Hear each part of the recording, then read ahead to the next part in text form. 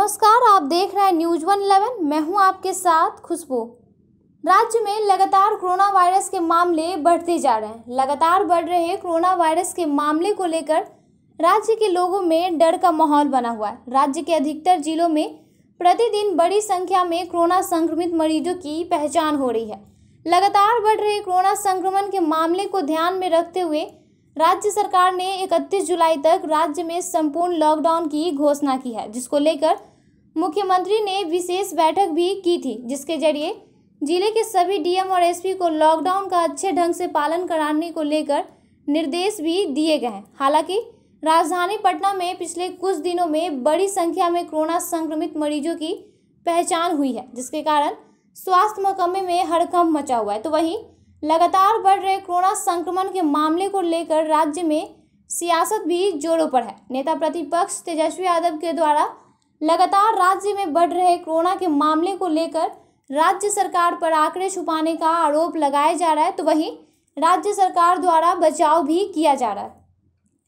वहीं कोरोना पर जारी सियासत की बात करें तो विपक्ष लगातार विधानसभा चुनाव रद्द करने की मांग कर रहा है तो वहीं सरकार इसके खिलाफ है।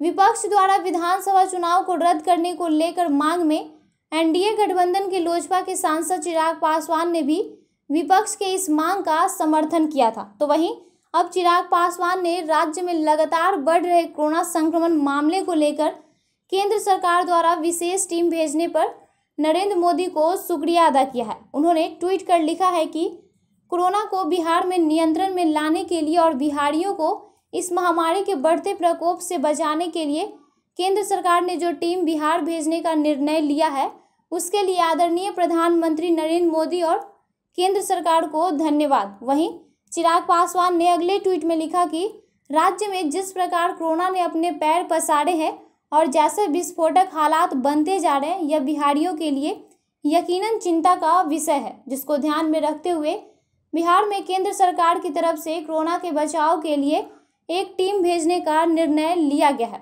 जिससे हालात को काबू में लाया जा सके। आपको बता दें कि जमुई सांसद चिराग पासवान लगातार हर एक मुद्दे पर बेबाकी से अपनी राय रखते हैं, चाहे वह सत्ता के समर्थन में हो या फिर सरकार के खिलाफ।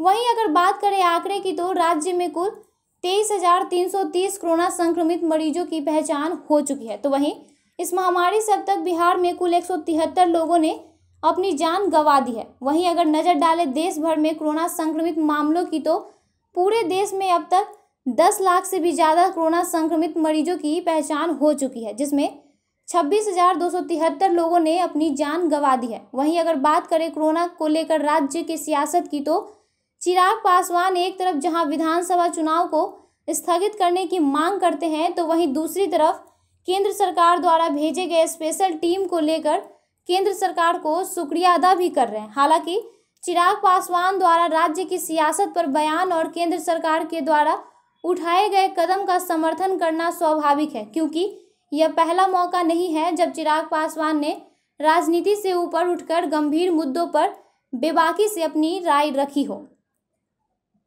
तो ऐसे ही तमाम खबरों के लिए बने रहिए न्यूज़ वन इलेवन के साथ। अगर अभी तक आपने हमारे चैनल को सब्सक्राइब नहीं किया है तो सब्सक्राइब कर ले, साथ ही बेल आइकन दबाना ना भूलें।